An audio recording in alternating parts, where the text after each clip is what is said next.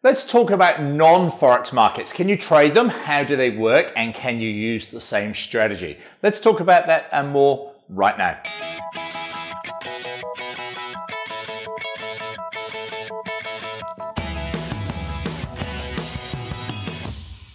Hey Forex traders, Andrew Mitchem here at the Forex Trading Coach with video and podcast number 436. Now, I want to talk about trading non-Forex pairs because it's something that we've been getting into a lot here at the Forex Trading Coach. And I'm talking about things like indices, commodities, and cryptos. But go back to the beginning. Do we trade them? Yes, we do now, but we've not done that for a very long time. And the reason is, is we are the Forex trading coach. So therefore, naturally, we've been focusing on Forex pairs because the Forex market offers us so many great opportunities. We've got different currency pairs, different time frame charts, and it's worked absolutely fantastically. Now, a little while ago, we've got into a few more of what you call the exotic pairs, things like the Swedish krona, South African rand, uh, Singapore dollar, some of those more sort of minor exotic pairs. And they still do work. There's great opportunities on them. The downside is though, is that some of those exotic pairs tend to have quite wild and wide spreads at times of the day when the market's not that active. And that can become a big sort of negative for trading some of those more exotic pairs.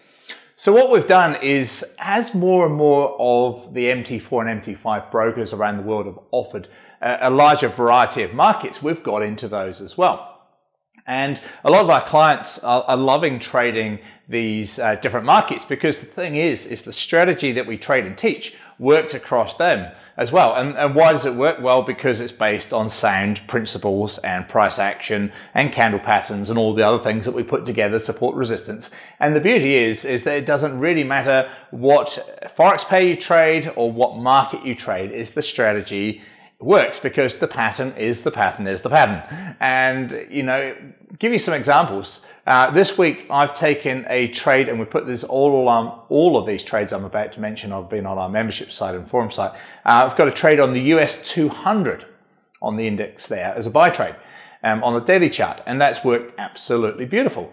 Uh, we had last week trades on the ASX 200, uh, the JP 225, that was this Monday. Uh, last week, HK, the Hong Kong 50. Uh, we've had trades posted just yesterday on six hour charts on our forum site on UK and US oil.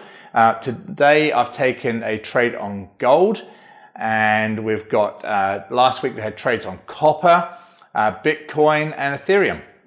So it's just in the last two weeks. And so it just shows the opportunities out there. And that is because the strategy works because it's good, sound principles of how to trade, how to read charts. And the beauty from, that I'm finding from my point of view is it suddenly opened up all these extra markets. And if we're trading, uh, you know, like just once, twice a day, it doesn't really take an extra couple of minutes to scan through, you know, gold and silver, a few commodities, a few, uh, indices and a, and a few cryptos. Doesn't take, you can do it all in maybe two or three minutes extra, uh, you know, once, maybe twice a day, and that's it. That's the beauty of it. Now, it still comes back to the same principle. All of our trades are low controlled risk and known risk. And again, I go back to what I say all the time. For me personally, I never trade more than half of 1% of my account on a trade. When I split my positions like I do most of the time with a limit order and a market order, I'm trading a quarter of 1% at market, quarter of 1% at a retracement order.